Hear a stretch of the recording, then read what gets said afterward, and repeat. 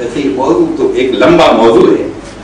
واقعہ یہ ہے قرآن حکیم میں ہر ہر صفحے پر آخرت کا کسی نہ کسی طرح تذکرہ ملتا ہے۔ جو ہم آوازی کرتے ہیں، الحمدللہ رب العالمین الرحمن الرحیم۔ یعنی اللہ تعالیٰ کا جو تعارف پیش ہو رہا ہے، رحمان اور رحیم کے بعد کیا بات کہی گئی ہے؟ مالک یوم الدین۔ یعنی اس کی رحمانیت اور اس کے رحم کی سب سے بڑی شان کیا ہے؟ وہ روز جزا کا مالک ہے۔ مالک یوم الدین ہے۔ روز جزا کا مالک، آخرت کے دن کا مالک۔ یہ اس کی سب سے بڑی رحمانیت کی وہ شان ہے۔ اور پہلا تعلق جو ہے اس کا یہ ہے۔ کیا ہے اس میں؟ واقعہ یہ ہے اس دنیا جس کے جس کے اندر ہم رہتے ہیں، اور جہاں بظاہر انصاف کی بھی بہت باتیں ہوتی ہیں، جرم اور سزا کی باتیں بھی ہوتی ہیں، لیکن واقعہ یہ ہے جو انصاف رب سے وابستہ ہے۔ وہ اللہ تعالیٰ نے کہا ہے، یوم یجمعکم لیوم الجمع، ذالک یوم التغاب۔ ایک روز ہم جمع کریں گے، جمع ہونے والے دن۔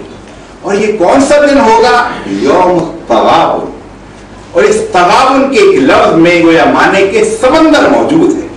جس روز کھرا کھوٹا الگ ہو جائے گا۔ دودھ کا دودھ، پانی کا پانی ہو جائے گا۔ پتہ چلے گا کون ہارا اور کون جیتا۔ کون کامیاب ہوا اور کون ناکام ہوا؟ دنیا میں تو ہم دیکھتے ہیں اپنی ملازمتیں، اپنی دنیا کی جو دوڑ ہے، اس میں جو ہم اس میں کہاں کہاں پر اچھا دیکھیں وہ آگے بڑھ گئے۔ دیکھیں وہ آؤٹ آف دی میرٹ آگے چلا گیا۔ دیکھیں اس کی سورس نے کام کر لیا۔ ساری دنیا میں یہ کیفیت ہے۔ اور آدمی سوچتا ہے کوئی ایسی جگہ ہو تو اللہ تعالیٰ کا یہ بڑا احسان اور مہربانی ہے۔ کہ اس نے جو یہ آخرت کا دن طے کیا ہے، ورنہ آپ اس دنیا میں دیکھیں کہ دنیا ہمارے سامنے ہے، بظاہر عدالتیں سجی ہوئی ہیں۔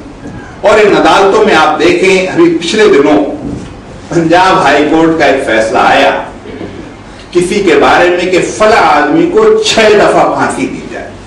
اور اس سے پہلے بھی مجھے یاد ہے، ایک دفعہ فیصلہ آیا تھا کہ فلاں شخص کو سو دفعہ پھانسی دی جائے۔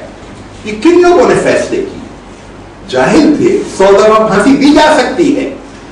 نہیں، جاہل نہیں، پڑھے لکھے جج تھے۔ اور یہ صرف پاکستان کا ہی مسئلہ نہیں ہے، امریکہ میں بھی یہ فیصلے ہوتے ہیں کہ فلاں آدمی کو تین مرتبہ الیکٹرک چیئر پہ بٹھا دیا جائے۔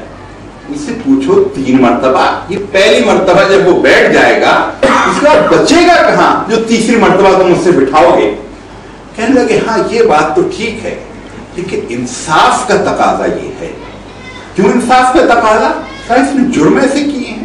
تین تو اس نے قتل کیے ہیں۔ تین مرتبہ اس نے عزت لوٹی ہے۔ تو اس کو تو کم از کم تین دفعہ پھانسی دی جائے الیکٹرک چیئر پہ بٹھایا جائے۔ تو دو، یہ ہے دنیا۔ انصاف اگر لکھ بھی دیا گیا، تو عمل نہیں ہو سکتا۔ ناقص دنیا ہے کچی دنیا ہے۔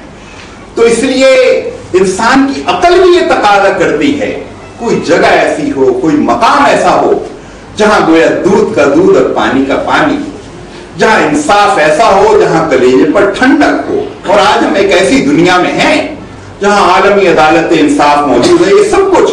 لیکن انصاف کہاں ہے؟ جتنے دنیا کے سروے ہیں، سامنے ہیں، دنیا کے نظام انصاف سے لوگ بری طرح غیر مطمئن ہیں۔ انصاف کہاں ہوگا؟ اور رحمان الرحیم، مالک یوم الدین۔ وہ رحمان اور رحیم انصاف کے دن کا مالک ہے، یوم الدین کا مالک ہے، روز جزا کا گویا وہ مالک ہے۔ اور پھر ایک اور پہلو بھی کہ جو دنیا چمکتی دمکتی حسین و جمیل دنیا، اس کے بارے میں انسان سمجھتا ہے کہ دنیا عیش کدا ہے، لذت کدا ہے۔ یعنی دور جو بہت ساری جگہوں کے بارے میں آدمی سوچتا ہے کہ وہاں تو لذت کدے ہیں عیش کدے ہیں لیکن دنیا میں عیش ہے۔ جو اللہ کے رسول سرسم بار بار فرماتے تھے اللہ اللہ عیش اللہ عیشت الاخرہ۔ اے اللہ، کوئی عیش نہیں ہے سوائے آخرت کے عیش کے تو پھر یہ دنیا میں کیا ہے؟ اور وہ جو ایک حدیث قدسی میں حضور اکرم صلی اللہ علیہ وسلم نے فرمایا کہ اللہ تعالیٰ فرماتا ہے کہ ہم نے عیش کو جنت میں رکھ دیا ہے۔ لوگ اسے دنیا میں تلاش کرتے ہیں، بھلا وہ کیسے پائیں گے؟ تو یہ جو دنیا میں عیش کدے نظر آتے ہیں اور وہ جو اللہ اقبال نے جو ایک بات کہی کہ ڈھونڈ رہا ہے فرنگ ایش جہاں کا دوام، وائے تمنا خام، وائے تمنا خام۔ یہ کچی تمنا ہے، پوری نہیں ہو سکتی کہ ایش کدے ہمیں دکھائی تو دیتے ہیں۔ لیکن واقعہ یہ ہے کہ ایش ابھی پچھلے دنوں مائیکل جیکسن ہر شخص کو دنیا سے رخصت ہونا ہے۔ اس کو بھی دنیا سے رخصت ہونا تھا، رخصت ہوا۔ کون تھا مائیکل جیکسن پاپ میوزک کا بادشاہ تھا۔